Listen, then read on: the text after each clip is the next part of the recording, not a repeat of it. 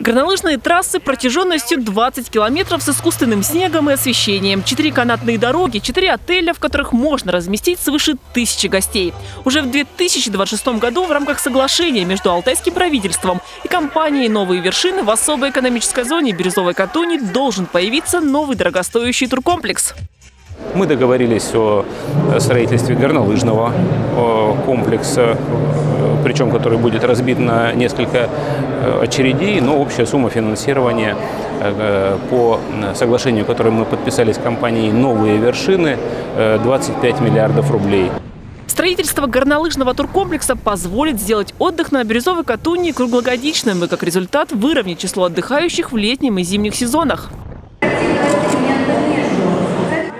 Еще одно взаимовыгодное соглашение между правительством Алтайского края и группой Черкизова. Объемы производства мяса птицы в нашем регионе теперь должны вырасти в два раза.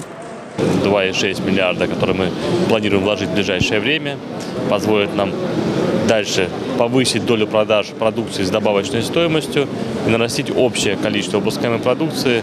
А, вот на этом этапе где-то тысяч на 17 а, тонн в годовом выражении. А вообще, как э, Виктор Петрович сказал, план на, за 100 тысяч тонн, да, удвоение, у нас он тоже есть. Новый контракт позволит в течение пяти лет создать целый птицеводческий кластер в нашем крае. Только новых рабочих мест в отрасли должно появиться больше 200. Валентина Аскерова. День с толком.